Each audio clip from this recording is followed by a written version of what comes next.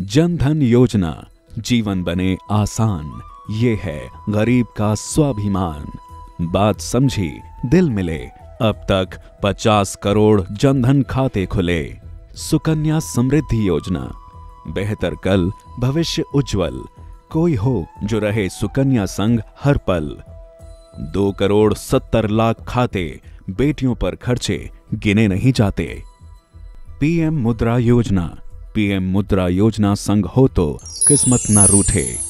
चेहरे पर मुस्कान खिले। अब तक तिरालीस करोड़ लोगों को छोटे ऋण मिले।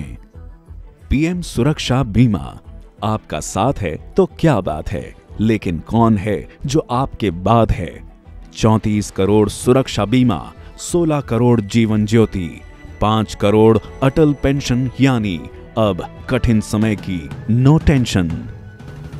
फ़सल बीमा बाढ़, बारिश, सूखा तूफ़ान। कैसे बचे किसान? कैसे कम हो फ़सल का नुकसान? फ़सल बीमा वो विश्वास है जो किसान के लिए जीने की आस है। स्टैंड अप इंडिया हम कमज़ोर नहीं जो हालात से डर जाएँ। हर काम बना देंगे हम, अगर अपनी पे अड़ जाएँ। चालीस हज़ार सात सौ करोड़ का लोन दिया है। ये स्टैंड अप इंडिया है। भीम यूपीआई जनधन वह जादू की छड़ी है जिससे जनता जुड़ी है।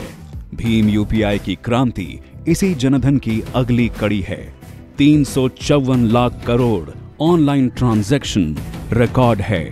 आयुष्मान भारत, इलाज का खर्चा, दवाओं की लागत, ना उदास हो, जब साथ हो आयुष्मान भारत।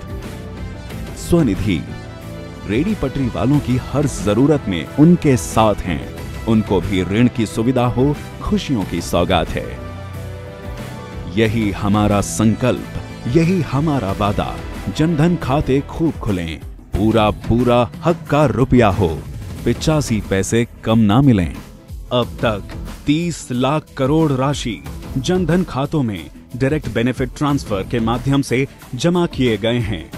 ये सभी क्रांतिकारी योजनाएँ इसीलिए संभव हो पाई क्योंकि जनधन की शुरुआत 28 अगस्त 2014 में हुई, जो आज़ाद भारत का अब तक का सबसे बड़ा, सबसे महत्वपूर्ण सुधार है।